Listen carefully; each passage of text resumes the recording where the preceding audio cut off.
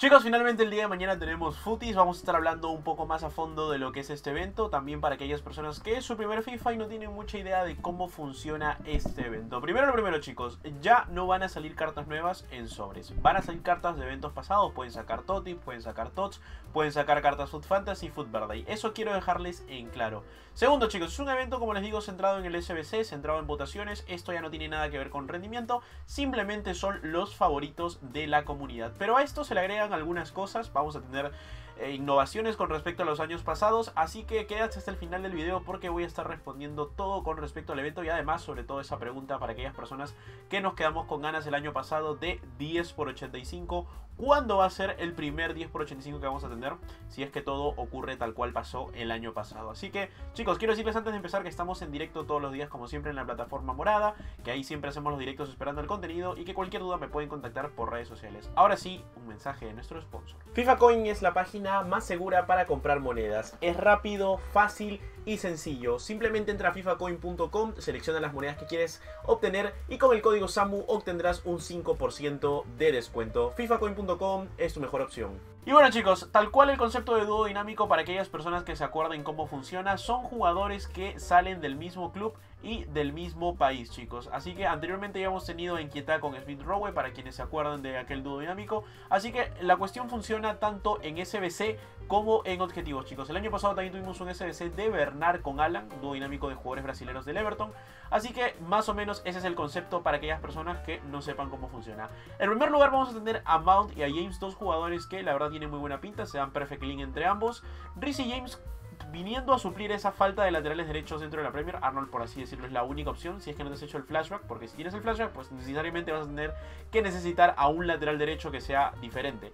Por lo cual, ese Rizzy James se ve bastante potente. Acuérdense que en FIFA 20, chicos, tenía una carta que como central era increíble. Bueno, como lateral derecho, pero se utilizaba como central.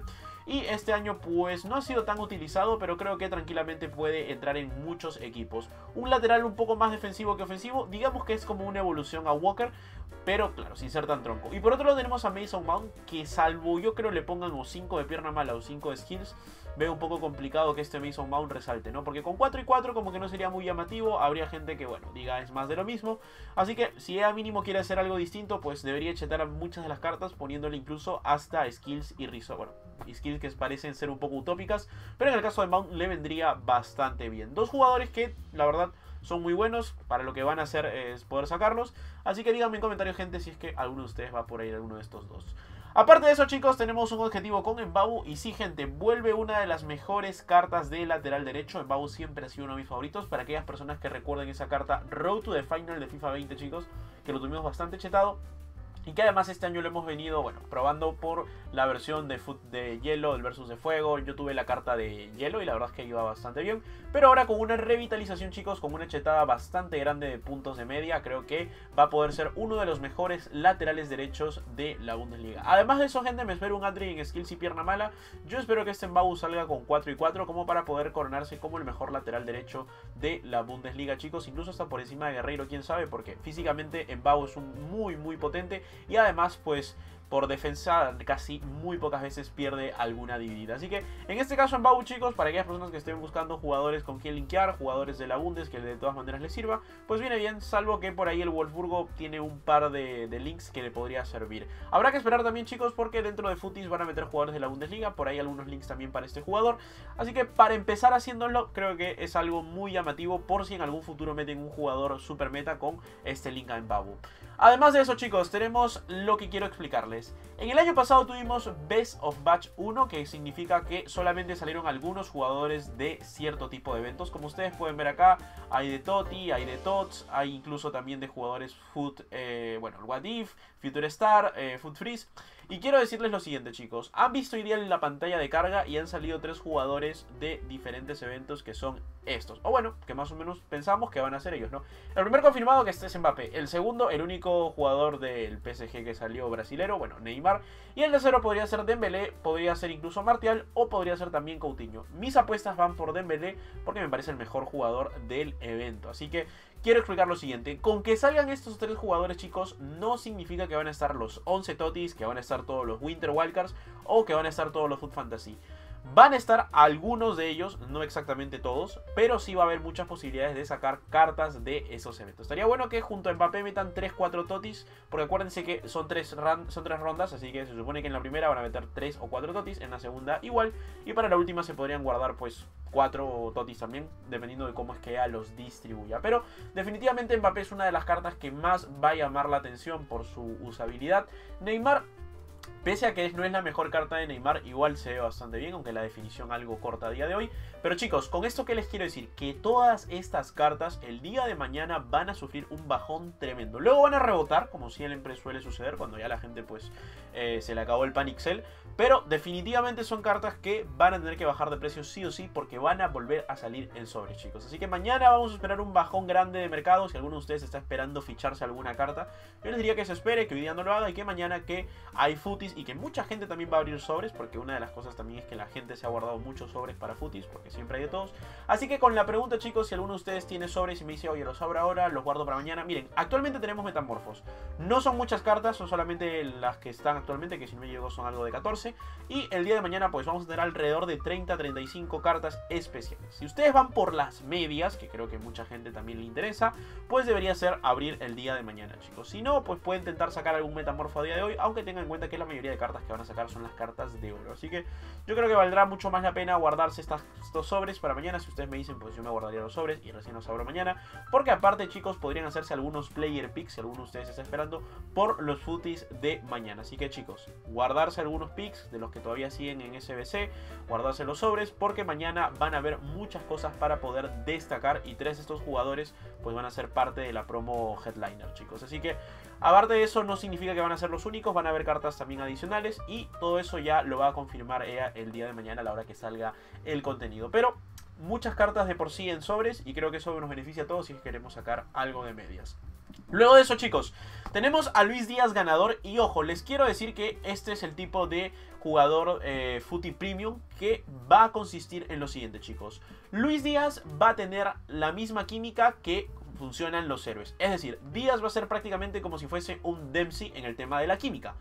Va a dar link verde con todos los jugadores de la Premier, chicos, así que no se preocupen por eso. Van a poder linkear su Luis Díaz con, por ejemplo, el Mason Mount y van a hacer link verde y vas a poder linkear a Luis Díaz con Kevin De Bruyne Tots o con cualquier otro jugador, chicos, que no sea necesariamente de Liverpool y vas a tener link verde. Funcionan igual que los héroes, como les digo, por ahí he puesto la referencia. Y Luis Díaz, al ser el ganador, recibe la mejora de la pierna mala, chicos, así que por favor, no se esperen mañana un Luis Díaz con 5 skills porque la mejora es de pierna mala, confirmado. Así que Quiero aclarar eso, chicos. Y además, las estadísticas que va a tener Luis Díaz, que se ven bastante, pero bastante potentes y que creo que a muchos de ustedes les va a llamar la atención, si es que se lo van a hacer en SBC, pero confirmado para el día de mañana.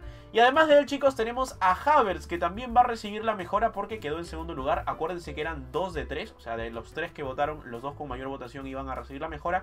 Y aparte, pues vamos a tener a un Havers con 5 de pierna mala, recordando un poco lo que era Havers en FIFA 19, porque en FIFA 19 contaba con las 5 de pierna mala, tanto en su Future Star como en su carta TOTS. Y además, chicos, va a servir como un SBC de Footy Premium. Con lo cual, las cartas de objetivos y las de SBC, chicos, muchas de ellas van a recibir esa mejora y con esto pues se nos va a hacer mucho más sencillo armar nuestros equipos híbridos porque solamente nos vamos a concentrar en juntar a dos jugadores de la misma liga, chicos. En ese aspecto nos viene bien, sobre todo si queremos armar, bueno, equipos de diferentes ligas.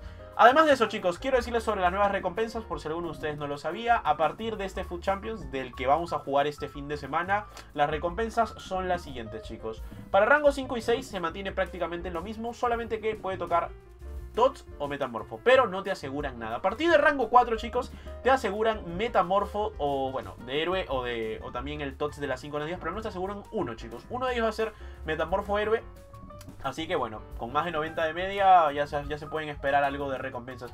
Igual en el rango 3 chicos vamos a tener 92, en el rango 1 y 2 vamos a tener también dos, eh, o metamorfo de rango de media 92. Así que bueno, para quienes se hacen de rango 4 por arriba sí van a experimentar un cambio en las recompensas. Yo suelo hacerme rango 4, bueno a veces rango 5, pero últimamente hemos estado logrando el rango 4. Así que me puedo esperar quizá un metamorfo que va a ser posiblemente Saint Joss o alguna de las cartas que ahora... Pues, va a dejar a precio de media. Esto gracias a la gente de Team Base Soccer, chicos. Y todas las filtraciones ya saben que siempre son con parte de Food Sheriff, chicos. Y bueno, por último, gente, quiero hablarles sobre el 10x85. Una de las cosas que más a ustedes creo que les puede llamar la atención. Hay gente que se pregunta bastante, oye, ¿cuándo sale? ¿Qué día vamos a tener 10x85? A ver, gente, acá tienen un, bueno, una tabla en la cual ustedes pueden, pueden ver que el primer 10x85 salió entre los días que salió Koke y Miura. O sea, estuvo en el intermedio, chicos. Con lo cual, Miura, si ustedes pueden ver acá, estuvo agregado al juego el 19 de julio, chicos. Quiere decir que la próxima semana veríamos el primer 10 por 85. Pero ojo, chicos, este no es el repetible, ¿ok?